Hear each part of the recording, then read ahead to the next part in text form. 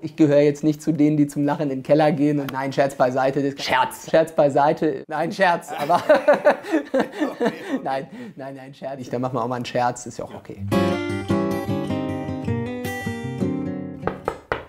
Ja, bitte.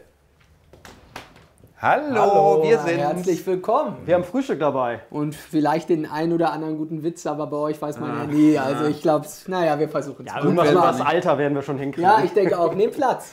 Ist es eigentlich okay für Sie, wie wir hier mit dem Outfit, oder sollen wir die Hemden lieber in die Hose stecken? Nee, das, das, das, das ist total okay. Es kommt gelegentlich auch mal vor, dass ich es auch über der Hose trage. Nein! Ja, was ist denn da? Also wenn Sie ganz verrückt drauf Ja, ja, sind. ja. Ja, wir freuen uns hier zu sein zum Arbeitsfrühstück. Ja, Ja. sehr gut. Da bin ich ja mal gespannt, was ihr mitgebracht Ja, habt. einiges.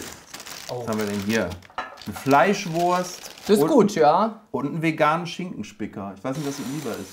Und veganer Schinkenspicker, ich weiß nicht. Also, ich habe mich da noch nicht so richtig rangetraut. Ich habe die Sorge, es kommt schlecht an im Wahlkreis. Aber Ah, da muss man Ja, als ja, äh, ja, nee. CDUler schon noch so ein bisschen. ja, aber ich gönn, ich gönn auch jedem seinen veganen Schinkenspicker, aber ich esse dann doch lieber richtige Wurst. Das ist auch okay. Da bin ich vielleicht ein bisschen rustikal veranlagt. wir- Ich- wir machen's mal auf. Wir, ja, wir, wir können es machen. Heute eine Premiere. Trauen Also ich, mal ehrlich, so richtig natürlich sieht es nicht aus, oder? also ich probiere das jetzt hier mal amtlich. Also ne, Grüße Ja. an die veganen Schinkenfreunde. Naja gut, man kommt durch. Ja. Würde ich sagen. Ich Also, dachte, da kommt, ja lol, ey. Jetzt. ja, ja, ja. Hey Mortadella, du alter Zerstörer, Ja, oder? Ja, aber. naja, gut. Soll jeder essen, wie er will. Ich bin ja nicht hier wie von den Grünen, dass ich allen Leuten vorschreiben will, was sie essen sollen und was nicht. Deswegen, wenn man das gerne mag. Sie sind ist wirklich okay. nicht wie von den Grünen. Das kann man Das- das- das- kann man wirklich Oder? sagen. Das ist eine unbestreitbar richtige Aussage. Was habt ihr denn noch Schönes? Äh, ja, sonst haben wir noch hier also Bärchenwurst. Sie sind ja, Ja. auch Jäger, ne? Tatsächlich. Ja, deswegen finde ich auch, ist immer auch gut, wenn man Lebensmittel auch, auch wertschätzt und so. Das gehört auch mal dazu. Als Kind habe ich auch gerne mal. Ist ja auch okay, aber. Wann war das? Vor drei Monaten? Das sind die Ja, Witze. da müsst ihr euch noch entscheiden jetzt. Da müsst ihr euch jetzt noch entscheiden, ob es vor drei Monaten war oder vor 30 Jahren. Ja. Irgendwo ist, äh, ist, immer, ist immer da der, Ja, ist der klar. Schwank. Ja, wir wollen ja ein bisschen über die CDU auch reden. Alle reden gerade von der Modernisierung der CDU. Werden Sie das noch verhindern können? Das will ich gar nicht so. verhindern, nein, sondern ich finde, die CDU entwickelt sich äh, in eine sehr gute Richtung äh, in den letzten Monaten. Was sind die großen Themen, auf die die CDU jetzt setzen sollte? Oder anders gefragt, von welchen Themen würden Sie sich Aktienoptionen holen? Also der war natürlich auch sehr gut Ja, das war jetzt vorbereitet. wirklich absehbar auch irgendwie, Ja. muss man sagen. Aber ein bisschen lustig, mau. oder? Ja, Ja. war das lustig? Ja, Nee? Naja, Haben okay. Sie ihm vor dem Dreh okay. Aktienoptionen angeboten, dass er sich auf Ihre Seite schlägt? naja, nein, Scherz beiseite. Das ganze Thema hat mich sehr geärgert, auch damals. Ähm, ich mich vor allem über mich selbst. Das ist auch okay, das gehört, äh, gehört auch dazu. Ähm, aber der Blick enthält ja eine ernsthafte Frage. Was sind jetzt die wichtigen Themen? Manche haben gesagt, ja, wenn jetzt der Friedrich Merz Parteivorsitzender wird, dann ist hier irgendwie zurück in die Vergangenheit. Das ist überhaupt nicht der Fall. Er hat ja auch diese neue moderne Brille, Friedrich Merz. Aber Sie haben auch eine ähnliche Brille auf. Ne? Wer hatte sie Haben zuerst? Sie, haben Sie ihn beraten? Ja. Nein, ich, ich, finde, ich finde, die Brille steht ihm gut. Ja. Äh, und ich finde, es ist auch bezeichnend wieder, dass dann manches Mal mehr debattiert wird über eine neue Brille von Friedrich Merz als über eine gute Rede. Aber das ist auch okay. Äh, so ist es halt. Machen wir zum Glück Äh, nicht. Nein, nein, nein. Bei uns geht es um Inhalt. Ja, das ist auch wichtig. Deswegen mache ich wir haben halt Deswegen bin ich ja hier auch in diesem akademischen Pro-Seminar über Inhalte. Wir haben halt nichts Moderneres gefunden bei Friedrich Merz, Ach, Wir außer haben, die wir haben halt gesucht. Ne? Ja, Aber- der Friedrich Merz ist jemand, der eine äh, breite Akzeptanz auch in der Bevölkerung hat. Und da geht es auch nicht nur irgendwie ums Alter, äh, sondern ich finde das. auch um die Ansichten. Ja, und ich finde auch die, äh, da gibt es viele Dinge, die da irgendwie auch als falsche Labels versehen werden. Also Friedrich Merz äh, ist jemand, der auch ein, modernes Bild hat. Da werden irgendwelche einzelnen Zitate rausgekramt von 1998 und dann glaubt man, äh, der Mensch hätte sich nicht verändert. Das ist nicht wahr. Ja, oder auch letztes Jahr war es, glaube ich, als er da über Jens Spahn, schwuler Kanzlerkandidat. äh, Ja, auch da, auch war da, auch naja, so lange her. also äh, da muss man aber auch mal ernsthaft sagen, natürlich ist es immer so, das passiert auch, wenn man als Politiker viel in den Medien ist, dass man da auch gelegentlich mal kommunikativ daneben liegt. Und die Haltung aber, da ist Friedrich Merz jemand, der äh, eine ganz offene, normale Haltung hat. Also Friedrich Merz, können wir so festhalten, ist jemand, der eine offene Haltung hat, aber gelegentlich kommunikativ mal daneben liegt. Ach Quatsch, also das ist, das, äh, also da habe ich den Eindruck, gibt es halt viele, die Friedrich Merz auch bewusst sozusagen in die Ecke der Rückwärtsgewandtheit schieben wollen, mich auch und dagegen kann man sich dann aber auch wehren. Trotzdem sind ja die Zahlen erstmal ernüchternd. Also die CDU-Mitglieder sind ja im Schnitt 60,8 Jahre alt.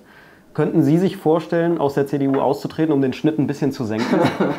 Ja, da ist wieder das. Ja, ja, es da ist er wieder. Äh, die Inkonsistenz ist ein bisschen nah. Ne? Erst vor drei Monaten noch in der Schule, jetzt in alles Durchschnitt senken. Gut. Sie vereinen halt beide Welten. Ja, das Beste aus allen Welten. Na gut. Sie sind jetzt seit einem halben Jahr in der zweiten Reihe, ne? CDU in der Opposition. Wie fühlt sich das an? Naja, Opposition ist schon wichtig, weil man muss mal ehrlicherweise sagen, ohne Opposition ist die Demokratie keine Demokratie. Ja, aber es ist Da nicht so genug- schön, ja, oder? Ja, War schon geiler, oder? Ah. Naja, es hat, es hat alles Vor- und Nachteile. Ich muss mal sagen, Opposition heißt ja auch manchmal die Regierung mit fiesen Fragen, mit unangenehmen Nachfragen, mit Piesacken zu ärgern und das äh, ist auch wichtig. Also eigentlich unser Job, das ne? auch, Ja, Ja, das wollen, wollen Sie noch ein paar Tricks fast, fast noch ein bisschen inhaltlicher, aber in die Richtung geht's schon. Ich, und deswegen braucht es uns auch. Oh, oh, oh, jetzt ja, passiert ich was. muss jetzt Wir werden rausgeworfen. Nee, ihr werdet noch nicht rausgeworfen. Ich muss nur tatsächlich einmal kurz zur Abstimmung. Okay. Aber ihr sollt ja auch gebildet äh, zurückbleiben, weil könnt ihr noch mal euch kurz anschauen und dann. Sind da Bilder drin? Nee, nee, nee, aber ich glaube für euch trotzdem verständlich. Ich gehe eben Abstimmung Alles klar, wir warten. Ja, ja. Bis gleich. Bis gleich.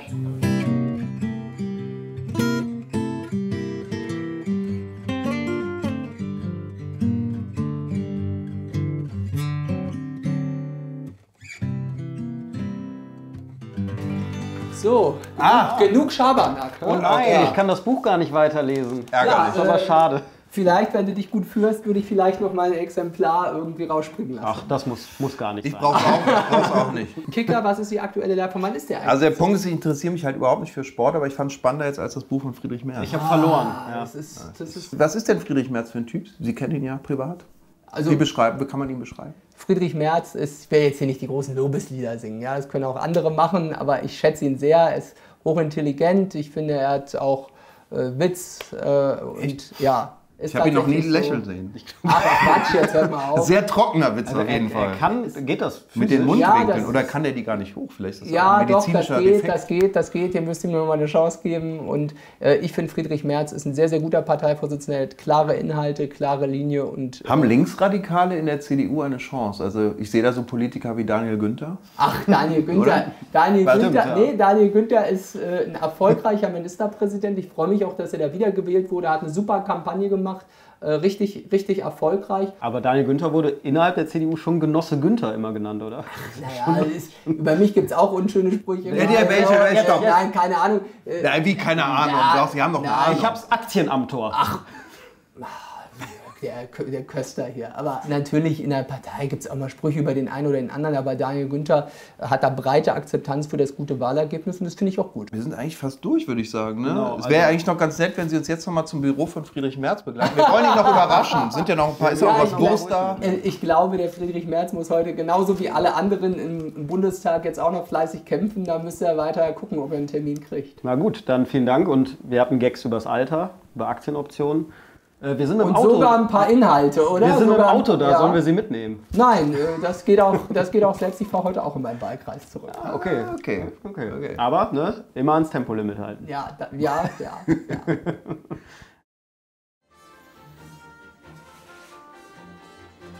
Ich warte nur auf Lutz.